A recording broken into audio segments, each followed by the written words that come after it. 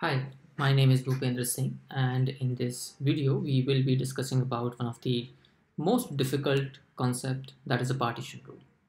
So let me quickly uh, take you through the kind of question that we come across in this partition rule and uh, let me also take you through the conceptual part of it.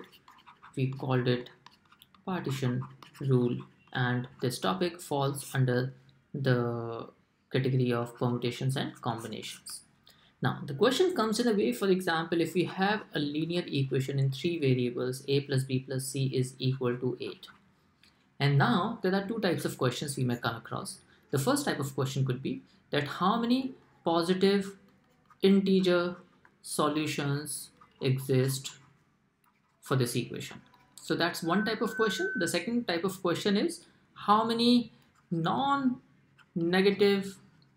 integer solutions exist for this equation. So let me quickly give you the brief of what kind of questions we may come across when we are talking about this question. So here I've also uh, kept a question for your for our discussion. For example, if you have a question such as that there is a guy who purchases eight chocolates and there are three children among them, the eight chocolates have to be distributed. And the question says that every child must get at least one chocolate.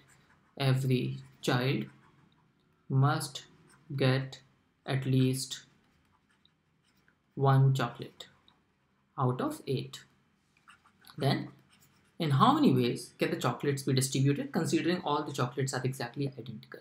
And the first equation that we form is that a plus b plus c is equal to 8. And now we have to divide this 8 into three parts such that each part has a value starting minimum from 1 because we are looking for the positive integer solution.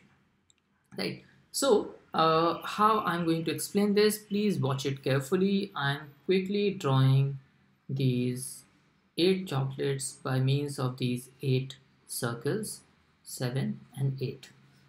Now I have to divide these three chocolate, these eight chocolates into three parts. So any group can be divided into three parts if there are two partitions placed anywhere like this.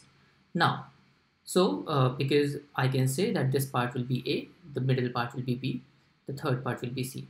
And as soon as the partitions move, as soon as the partitions move, there will be different possible solutions of A, B and C. So now we have to quickly figure out in how many ways can we move these partitions, right? But since here we are talking about the total positive integer solutions, therefore this partition cannot be placed at this place because if partition goes here then the value of a becomes a 0 because to the left of this partition there is no chocolate left. So all that we are left with is that we have to definitely place these partitions at these available gaps.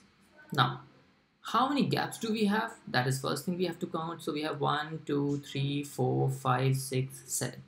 7 gaps. And out of these 7 gaps, two gaps should be filled by these two partitions. So in how many ways can it be done? Then we have to answer it in 7C two ways because the total number of ways of, cho of choosing two uh, spaces out of seven available spaces for these two partitions will be 7C2. So that becomes the answer for this question. That means for the first question, if you calculate it, 7C2, 7C2 will be 7 factorial divided by 2 factorial times 5 factorial, which becomes 21. So that's a positive integer solution for this particular question. Now, but we are going to structure it in the form of a formula. So let's understand why are we getting 7? We are getting 7 spaces available because we have 8 chocolates. Suppose if we had only 5 chocolates here and if we had to place two partitions then the number of spaces that we would have will be 4. That means we understand that the number of spaces available will always be 1 less the total number of chocolates.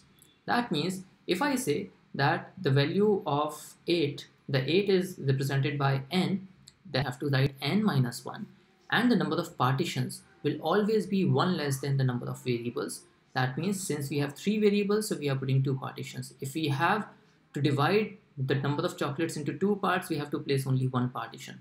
So that becomes r minus 1 assuming that all the variables, the count of variables is represented by r. So the formula for the positive integer solution turns out to be n minus 1 c r minus 1. So next time, if you come across a question that there are uh, 10 chocolates that have to be divided among four children and every child must get at least one chocolate, you will say that the answer is simply 10 minus 1, C 4 minus 1, that means 9, C 3 and you can simplify the value and answer the question. So that is one thing how we generalize this principle. So let me quickly write it down. This is positive integer solution of this particular equation. Now the next question is to find out the non-negative integer solutions. So the non-negative integer solutions means the value of the variables can be anything from 0 to n. So now I'm taking the same example once again a plus b plus c is equal to 8 where this condition is not essentially given that means the value of a b and c may be 0 as well. So let's once again look at the same question from the similar perspective. So I'm drawing 8 chocolates once again 1 2 3 4 5 6 7 8 and since I have to divide them into three parts. So once again I have to place these two partitions.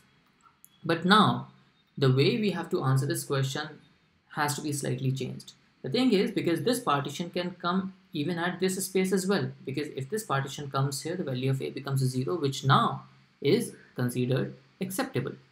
And similarly this partition can go here. Even the two partitions can come together like this as well because in that case the value of b becomes a 0 so eventually now we have 1 2 3 4 5 6 7 8 9 10 10 uh, objects to to keep rotating among themselves. We have to arrange these 10 objects, which can be done in 10 factorial ways. But since all the chocolates are identical, so we have to exclude their arrangement within themselves because if one chocolate gets replaced by 2 and 2 comes at one place, the arrangement, the representation, the answer does not change. So we have to divide it by 8 factorial because there are 8 chocolates here. Similarly, the two partitions are identical. If partition number 3 goes to place 8 and 8 goes to 3, then the division remains the same. So we have to exclude the arrangement of the two partitions as well, which can be done in 2 factorial ways. If you look at this expression carefully, that turns out to be 10c. Uh, 10c2 or you can also write it as 10c8 but the thing is how do we formulate it see we have 10 objects because we have 8 chocolates which I'm calling n the number of variables is 3 which we are calling r so we have n equal to 8, r is equal to 3. So it is 1 less than that. The reason is that the number of partitions we are using is always 1 less than r. Therefore, the formula is taking the shape of n plus r minus 1. C.